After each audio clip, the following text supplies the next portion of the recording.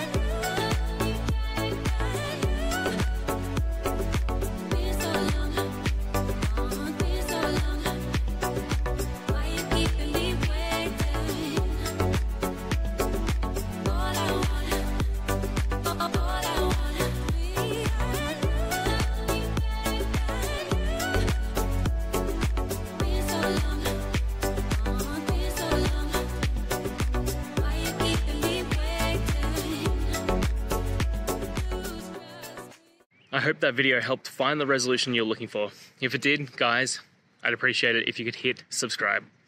Until the next time that you need more technical help, I hope you have a good one. Cheers.